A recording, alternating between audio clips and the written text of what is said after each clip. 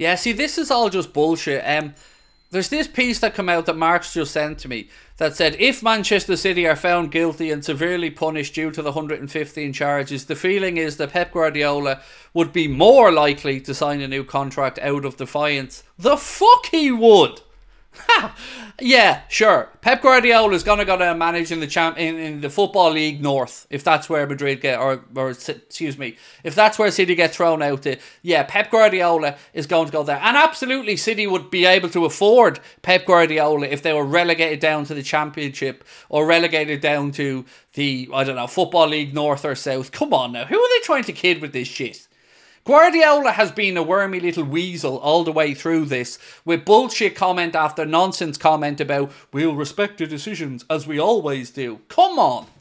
If Guard if they're found guilty, one they can't afford to keep them if they're banned and thrown out of the league. So that argument goes out the window unless they're going to do what they've done previously, which is pay him anyway. And that's kind of where we are with Manchester City. I'm sorry, I'm not having it. Pep's full of it. That's full of it. They're all full of it. Um yeah, our defiance, our defiance, getting paid about eight, ten million quid a year. Our defiance. I'll be defiant if somebody wants to give me eight or ten million quid a year. I'll be defiant. Anfield Agenda gets no views from next week, but somebody wants to keep paying me to be defiant. I think we can all take that, uh, shoulder that responsibility if somebody's thrown wads of cash at us.